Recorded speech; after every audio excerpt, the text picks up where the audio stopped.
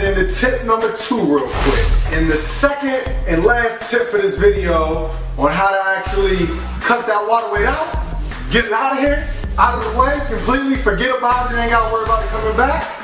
Step number two is limit the amount of refined carbs you're adding into your diet. Two quick examples of refined carbs are things like processed grains and processed sugars.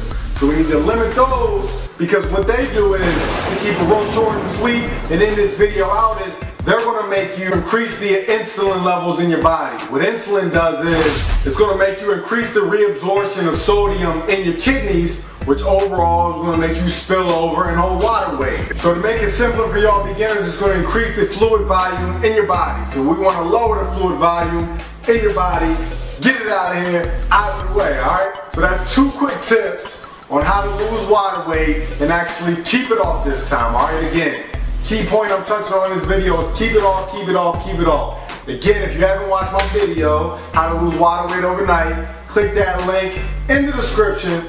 But before you do that, I need y'all to do me a really big favor. Make sure you click that subscribe button. Make sure you like this video, share it if it helps you out. Make sure y'all stay tuned. And as always, do what you gotta do because it's that simple. Twalk Da Hulk. If you need that extra help, make sure you contact me on Instagram at Twalk Da Hulk Fitness. DM me or comment on here. Let me know you need my help. I do one-on-one online coaching. I have a lot of clients getting great results. And I want to continue to help more for some of the cheapest prices possible. Also, just throw that in there. But yeah, I ain't selling y'all. I'm helping y'all. Stay tuned for more videos. I'll holler at y'all soon.